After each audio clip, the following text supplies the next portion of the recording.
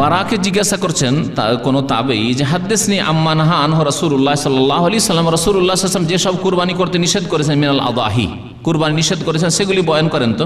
বলছেন, কামা রসুল্লাহ সাল্লাম, আল্লাহ রসুল একদিন খুদ্বায় দাঁড়ালেন ওয়াদি আকসার এমনিয়া দেহি আর আমি সেইভাবে বুঝাইতে পারব না, যেভাবে রসুল্লাহ সাল্লাম বুঝিয়েছেন, তবে তিনি বললেন আর বাউন লাইয়া জুজনা চার রকমের কুরবানি করা যায়জ না চার রকমের কুরবানি করা জায়েজ না আল আওয়ারাও আল বাইয়ন আওয়ারোহা।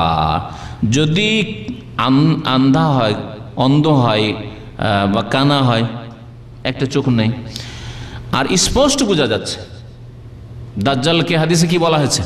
ইন্না দাজ্জাল আওয়ার ওয়া ইন্না রব্বাকুম লাইসা বি আওয়ার জেনে রাখো, সাবধান, তোমাদেরকে সতর্ক করছি, দাজ্জাল নিজের রব দাবি করবে।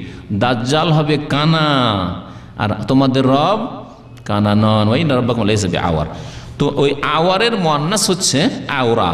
আল আওরা কানা আল আওয়ার হা যার কানা হওয়া বা অন্ধ হওয়া স্পষ্ট হয়ে যাচ্ছে, বোঝা যাচ্ছে একটা চোখে দেখতে পায় না চোখ একবার লেপে আছে, অথবা চোখে বোঝা যাচ্ছে যে চোখে, এই চোখে দেখতে পায় না, আর জানতে পারছেন। তাহলে সেটা কোরবানিতে জায়জ নয়। ওয়াল মারিজা আল বাইয়ন মারাদোহা, আর এত রুগ্ন, অসুস্থ, ক্ষীণ যে স্পষ্ট বোঝা যাচ্ছে যে এই খাসি, বকরি অথবা গরু, উঁট রোগা, তাহলে সেটা চলবে না।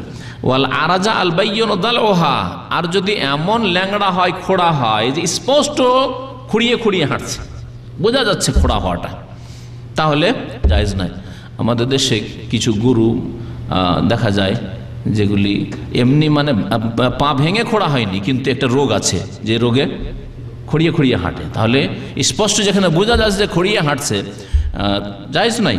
ওয়াল কাসির আল্লাতি লাতুন কি আর এমন একেবারে শুকনো, কাসিরা বলা এমন শুকনো শুকিয়ে গেছে যে যার মধ্যে কোনো গোস্ত নেই। শরীরে গোস্তগুলি এসে হাড্ডির সাথে লেগে গেছে, চামড়া হাড্ডির সাথে লেগে গেছে। এইরকম যদি দুর্বল হয়, তাও চলবে। লাতুন কি যাতে গোস্ত নেই। কুলতো ইন্নি আকরাহিয়াকুনা ফিল কারণে নাকসুন। আমা, আমি পছন্দ করি না যদি শিঙে কোনো রকমের ত্রুটি থাকে, যদি শিং ভাঙা থাকে বা শিং না থাকে। কালা মা কারে তাহুফা দাহু আলা তোহার রেমহু আলা আহাদ। নবী করিম সাল্লাহ আলী হুসাল্লাম বললেন যে, যদি কোনো কিছু কে তুমি যদি না পছন্দ করো যে শিং নেই সেজন্য আমি এটা পছন্দ করি না, তাহলে সেটা ছেড়ে দাও, তুমি কোরবানি করিও না। কিন্তু কারোর জন্য হারাম করিও না।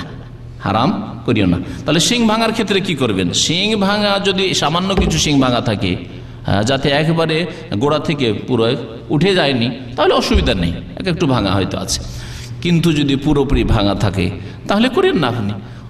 অথবা আপনি সতর্কতা অবলম্বন করেন। না সাল্লাম বলছেন যে তুমি অন্য কারোর জন্য সেটাকে হারাম করিও না। অথবা জন্মগত সিং নেই। কয়েকদিন আগে একজন জিজ্ঞেস করছিল যে সিং নেই? এতে কোনো অসুবিধা আছে? কোনো অসুবিধা নেই। জন্মগত কিছু ছাগল আছে বা গরু আছে শিখ নেই। তাতে কোনো অসুবিধা